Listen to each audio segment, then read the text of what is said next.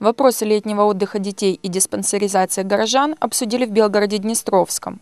В горисполкоме прошел брифинг, где выступили Ольга Душанина, начальник отдела по делам семьи и молодежи, и Татьяна Сибирцева, начальник управления охраны здоровья. О том, как организован летний отдых детей, рассказала начальник отдела по делам семьи и молодежи.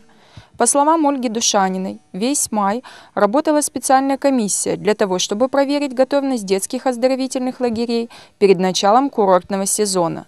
И вот работы завершены, а первые отдыхающие наслаждаются летним солнцем и свежими фруктами. Протягом травня місяця комісією було проведено ряд заходів щодо вивчення стану готовності оздоровчих заходів до оздоровчої кампанії.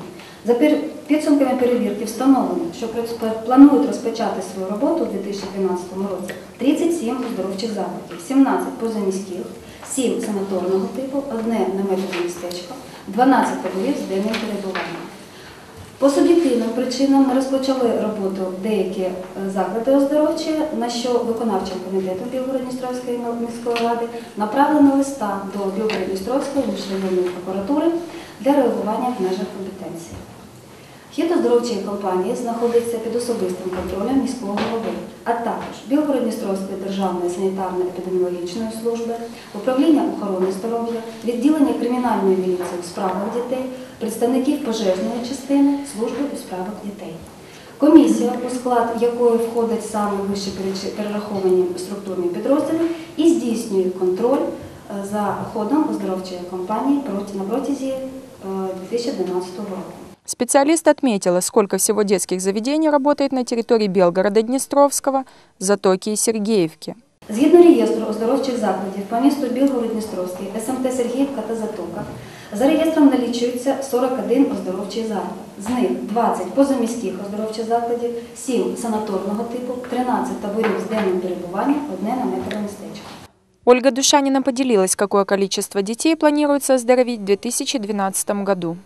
28 травня на базі загальноосвітніх установ міста організовано розпочата оздоровчу кампанію у 12 пришкільних таборах з денним перебуванням, щоденно на яких відпочинковими послугами було охоплено понад 2 тисяч дітей. З 3 червня розпочата оздоровчу кампанію в позаміському оздоровчому закладі Аврії Поліса.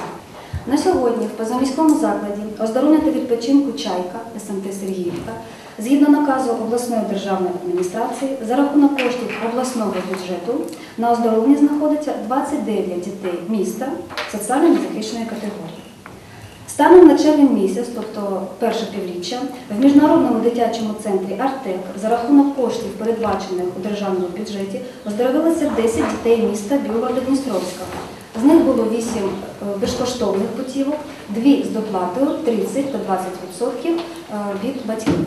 В Українському дитячому центрі «Молода гвардія» одна дитина була путівка з доплатою 30% від батьків.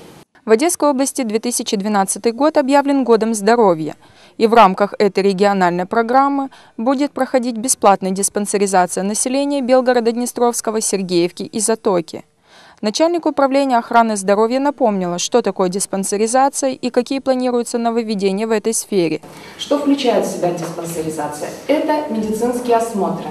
Скажем так, этой работой мы занимались всегда и постоянно, э, потому как у нас э, лица, работающие в системе э, здравоохранения, в системе общеобразовательных школ, детских дошкольных учреждений, лица пищевой промышленности, работающие на учреждениях оздоровления, в учреждениях торговли, они регулярно проходят у нас медицинские осмотры. А также лица, имеющие хронические различные заболевания, они ежегодно проводят медицинские осмотры в учреждениях здравоохранения.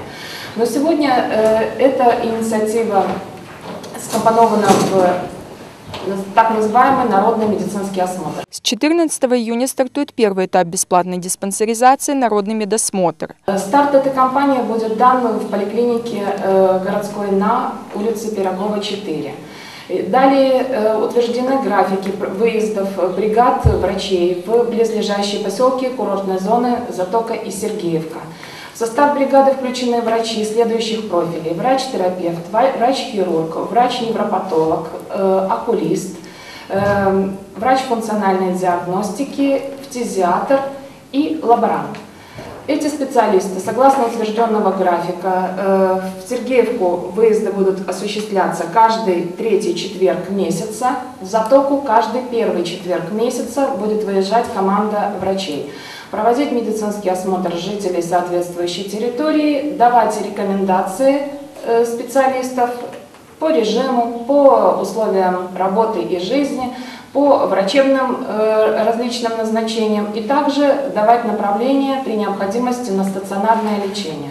В сентябре этого года запланирован приезд бригады врачей-специалистов Одесской областной клинической больницы для консультирования больных и всех желающих. Так будет проходить второй этап народного медосмотра.